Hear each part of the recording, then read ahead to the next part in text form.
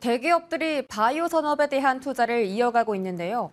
최근 미국 시장을 노리거나 진출하는 사례가 늘고 있습니다. 세계 최대 의약품 시장을 교두보로 삼고 글로벌 시장에 진출한다는 전략인데요. 문정우 기자가 전합니다. LG화학이 미국 바이오 기업 아베오를 인수했습니다. 아베오는 미국 FDA의 허가를 받은 신장암 치료 신약 포티부다를 개발한 항암 치료제 전문 기업입니다. 2027년에만 5천억 원의 매출이 기대되는 아베오를 품기 위해 LG화학은 5억 6,600만 달러, 우리 돈으로 약 8천억 원을 투자했습니다. 이로써 LG화학은 글로벌 항암 시장의 절반을 차지하는 미국 시장에 본격 진출하게 됐습니다.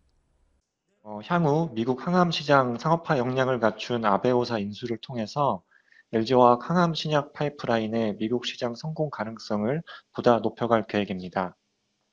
바이오 투자에 적극적인 대기업들의 미국 진출은 최근 계속되고 있습니다. 진입이 까다로운 미국 시장은 곧 글로벌 진출로 이어지는 중요한 요충지이기 때문입니다. 롯데 바이오로직스는 2천억 원을 투입해 미국 항체 의약품 원액 생산 공장을 사들였습니다. 빠르면 연말에 공장 가동을 시작할 수 있을 전망입니다. SK 바이오사이언스는 미국 법인을 설립하기로 하면서 해외 진출에 속도를 내고 있고 삼성 바이오로직스는 미국 내 생산 시설을 확보하는 방안을 검토 중입니다.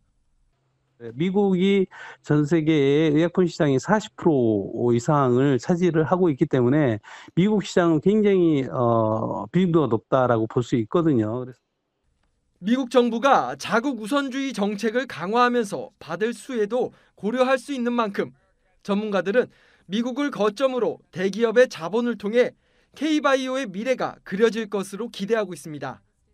머니투데이 방송 문정우입니다.